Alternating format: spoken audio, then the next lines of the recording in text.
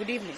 This is a very personal note that I want to tell our dear Prime Minister, Shri Modi ji.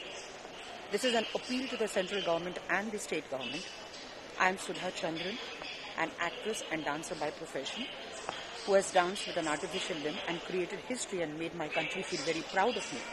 But every time that I go on my professional visits, each time I'm stopped at the airport and when I request them at the security to the CISF officers that please do an ETD test for my artificial limb, they still want me to remove my artificial limb and show it to them. Is it humanly possible, Modi ji?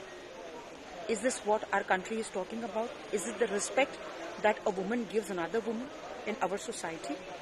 I request you, it's my humble request to you, Modi ji, that please, like you give a senior citizen a card to say that he's a senior citizen.